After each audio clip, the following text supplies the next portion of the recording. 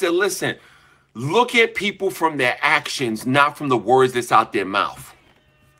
And a lot of times people would use their opinions to stop you from being yourself and stop you from glowing up to your level, to growing at your pace because they're jealous at your growth. Pause. I have to put that in there. They be, if there's certain people in our life that are jealous of our, our growth, I thank God for friends like DPD, you know what I'm saying, the collection, the fashion designer. Me and him been good friends for 20 years. Oh my God, Damien, 23 years. Give it up.